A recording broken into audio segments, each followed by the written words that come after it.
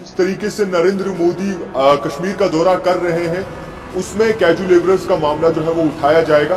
क्या कैजू लेबरर्स को एक खुशी मिलेगी एक तवील अरसे के बाद?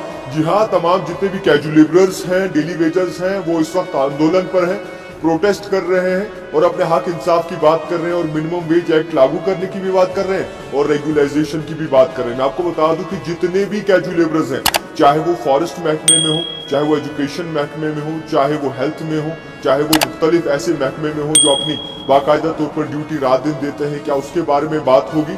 इस वक्त अगर देखा जाए तो श्रीनगर में बड़े पैमाने पर तैयारियाँ जो है पीएम नरेंद्र मोदी की चल रही हैं।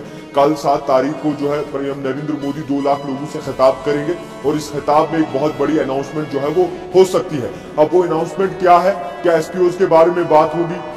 कैजू लेबरर्स के बारे में बात होगी डेली वेजर्स के बारे में बात होगी, क्योंकि डेली वेजर्स वो महकमा है डेली वेजर्स वो लोग हैं जिन्होंने अपने दिन रात एक करके आज तक पाँच हज़ार, छह हज़ार, तीन हज़ार पर काम किया महीने में।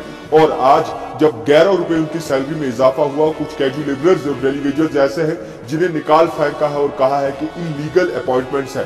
गांधरबल सिंह डिवीज़न की बात करेंगे, जितने भी कैजू लेबरर्स हैं, वो भी इस वक्त परेशान है, क्योंकि उन्हें डिसंगेज कर दिया है, ये फैसला भी ले लिया है। और करीबन 14 या 15 साल बाद जो है, इस तरीके से बाकायदा तौर पर खबरें सुनने को मिल रही हैं कि कैजू लेबरर्स जो दिन रात काम करते थे, उन्हें डिसंगेज कर दिया है। मगर अफसोस की बात यह है और हैरान कर देने वाली बात यह है कि वो पार्टियाँ जो कहीं ना कहीं अपोजिशन में बैठी हुई है, चाहे वो नेशनल कॉन्फ्रेंस हो पीडीपी हो पीसी हो, जम्मू कश्मीर अपनी पार्टी हो, या फिर जो भी ऐसी नई पार्टियाँ हैं वो अभी तक कैजू लेबरर्स के बारे में बात नहीं कर पाई है। ये उनका, मैं ये कहूँगा कि बदकिस्मती है, क्योंकि आने वाले इंतखाब है जनाब, मुँह तोड़ आपको भी जवाब मिलेगा कि आखिरकार आपने क्या किया। जो भी ऐसा छोटा सा मुद्दा होता है तो छठ से ट्वीट कर देते हैं, मगर कैजुअल लेबरर्स और डेलीवेजर्स की बात नहीं उठाई। और अगर ये इलीगल अपॉइंटमेंट्स हैं तो जिम्मेदार भी वही माजी की पार्टियाँ हैं नेशनल कॉन्फ्रेंस पीडीपी बाकी जितनी भी पार्टियाँ हैं, जिन्होंने ये अपॉइंटमेंट्स की थी। और आज उन कैजू लेबरर्स और डेलीवेजर्स के पेट पर लात मारी जा रही है,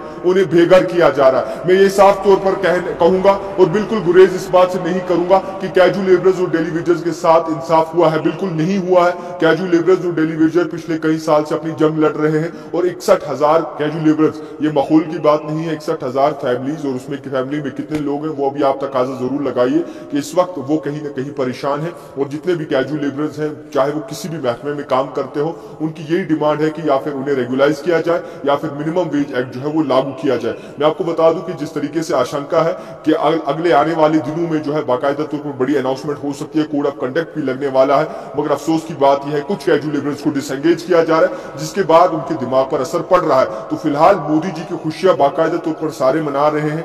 हिंदुस्तान जिंदाबाद, सब कह रहे हैं। मगर हिंदुस्तान जिंदाबाद में कश्मीर के लोग ऐसे हैं, जो कहीं ना कहीं परेशान है, जिनका पेट पे लात मारी जा रही है। तो जितनी भी ओरिजिनल पार्टी है नेशनल कॉन्फ्रेंस अपनी पार्टी या फिर पीडीपी हो, हाथ पे हाथ धरी बैठी हुई है। और मैं ये कहूँगा कि इस वक्त बात करनी चाहिए कैजुअल लिबरल्स की।